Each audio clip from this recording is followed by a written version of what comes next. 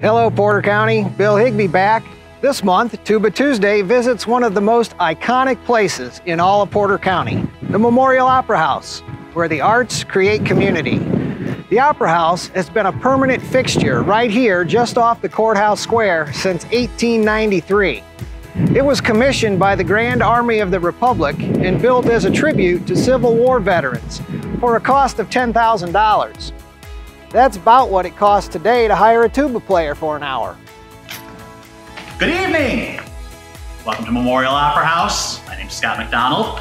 It has been a while since we've done this. Uh, I am just thrilled to have Porter County Community Foundation here today for Tuba Tuesday. So this time last year, we were getting ready to start rehearsals for our second show, 9 to 5. Unfortunately, because of the global pandemic, that just didn't happen, but we still hope to make that show happen sometime in the near future.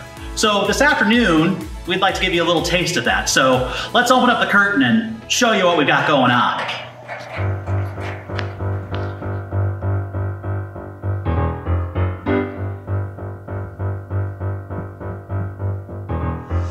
Tumble out of bed and I stumble to the kitchen, pour myself a cup of ambition and yawn and stretch and try to come to life.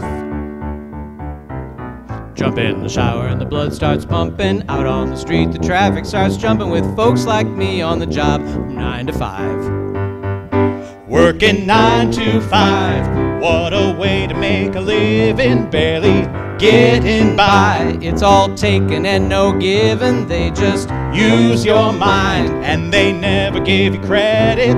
It's enough to drive you crazy if you let it. Nine to five, for service and devotion, you would Think that I would deserve a fair promotion, want to move ahead. But the boss won't seem to let me. I swear sometimes that man is out to get me.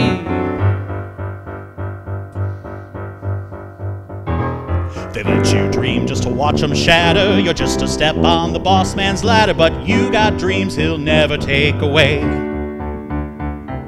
You're in the same boat with a lot of your friends, waiting for the day your ship will come in and the tide's gonna turn and it's all gonna roll your way.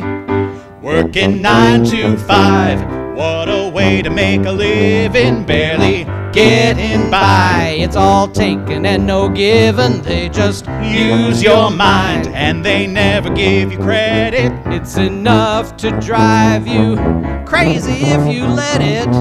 Nine to five, they've got you where they want you. There's a better life, and you dream about it, don't you? It's a Rich man's game, no matter what they call it. and you spend your life putting money in his wallet.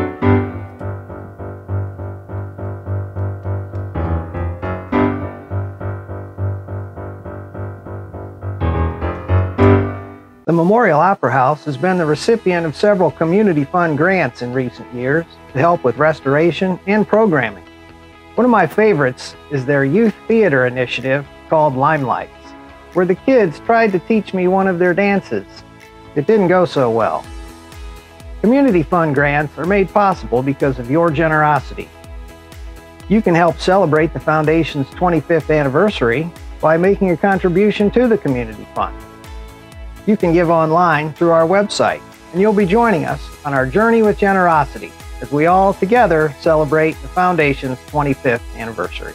I'd like to say a special thanks to Memorial Opera House Executive Director Scott McDonald, Marketing Consultant Andy Brent, and Systems Engineer Stretch Miller for hosting us at this month's Memorial Opera House Tuba Tuesday. Stay tuned next month. You'll never know where Tuba Tuesday is going to show up.